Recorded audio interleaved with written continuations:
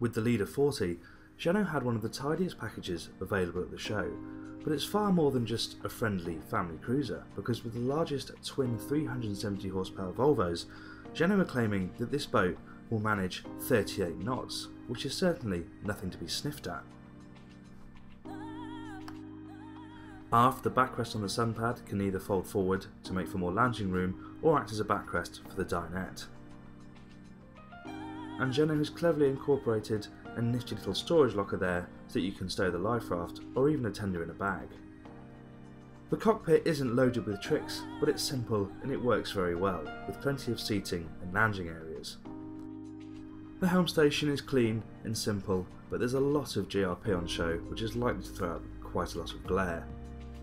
That being said, the view forward seem good, and everything falls down naturally.